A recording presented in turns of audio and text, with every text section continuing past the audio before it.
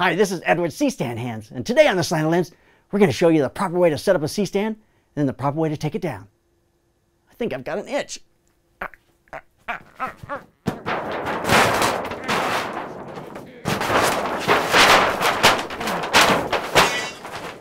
Let's get started and see what we can do.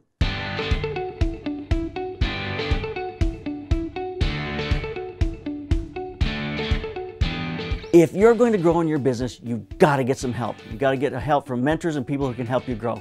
I can do that for you. Go to theslantedlens.com, sign up for our business material. It'll help change your life. You can sit and think about business or you can do something about it. And it's time to do it. The C-stand is probably the most important piece of equipment you'll have on set when it comes to stands and grip. You're going to put up your flags, you're going to put up your lights, you're going to use the C-stands all the time. This is a great stand by Norms. I've used Norm stands since the very beginning of my career. I've got stands back here holding this seamless up that are 25 years old. These are fabulous stands. They make heavy duty stands. They work forever. This is my favorite. It's just their standard C-stand. It's two risers and a head on the top. These legs nest in each other and there's a little lock on each one. If you unlock the stand, then the stand is going to naturally want to start to roll. As you roll it, each leg will drop into place, drop into place, and it's locked. And there it is. Now you just simply turn this knob and it's tight, ready to go down. Now it's a regular stand. All the principles we taught in our stand video apply here. When I set this down, I'm going to choose my angle of view on the camera. I'm going to set this with the large leg away from the angle of view and the two smaller legs split so that the angle of view passes right past them and these legs are not going to get into my shot. Now I have the large leg on the back. I can simply put my sandbag on that large leg. Why do we choose the large leg? Well, because all the weight of the sandbag falls around the leg and all that weight is right there holding the stand down. If you put it on one of the short legs, most of the weight of that sandbag is laying on the ground and it's not holding the stand down. This is a two riser stand. The third knob on the very top, that just simply loosens and takes off the gobo head or this grip head. It reveals a baby pin if you want to put a lot of lighting equipment on that, straight on the C-stand, which we do a lot and is very useful that way. Now, when we loosen this stand, we can raise it up. Always start with the top riser.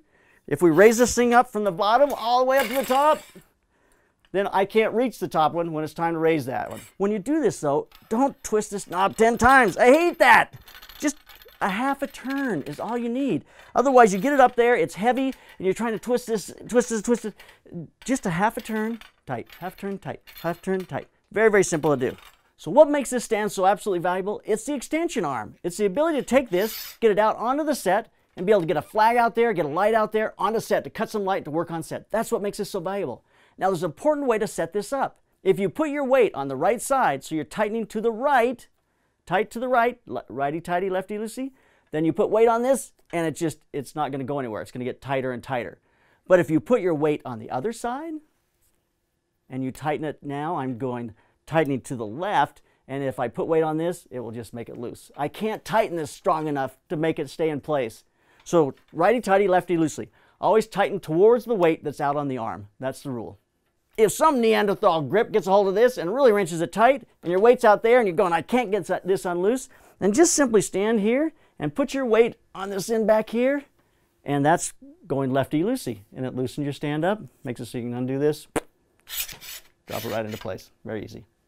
Another feature about this stand you really need to understand is called the Rocky Mountain leg.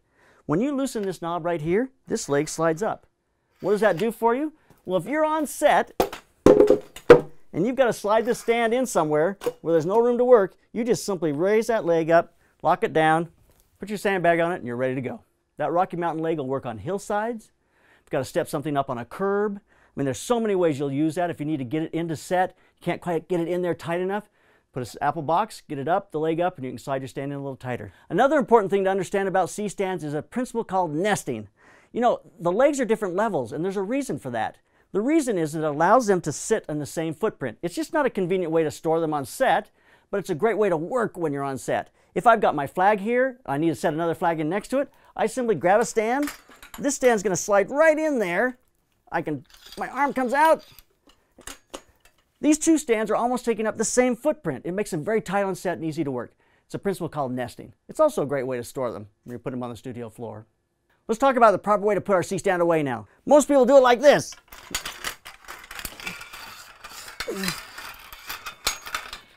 This is not it. It's actually a very simple process. You simply take that large leg, turn it away from you, loosen, pull, turn, pull, turn, and tighten, and it's ready to go on the truck.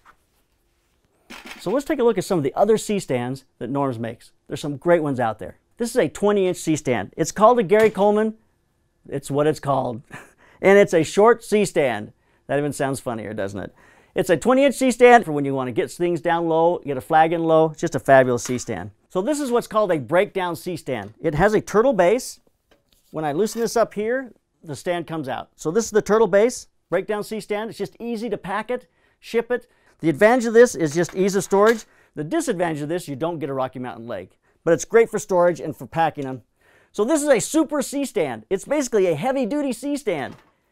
It's got heavier pipes, so heavier risers. It's made for lights like Kino Flos, heavier lights. So it's basically a beefy C-stand. It's called a Super C-stand. If you're interested in any of these stands, go to normstudios.equipment. You can find every one of these stands there. I have a lot of these. I love this stand. We use it all the time. I have the short 20-inch stand. We use that on set all the time. I think I even have one turtle stand. I don't have one of these. I need one of these. So anyway, there's a look at C-stands, how to set them up and how to use them. So keep those cameras rolling, keep on clicking.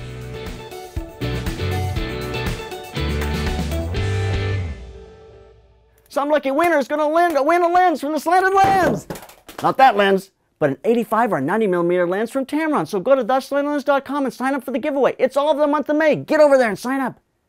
Don't forget to subscribe to the Slanted Lens. We're hanging out here. We're waiting for you to subscribe. Quick, subscribe. I can't do this all day. You've got to subscribe. Quick.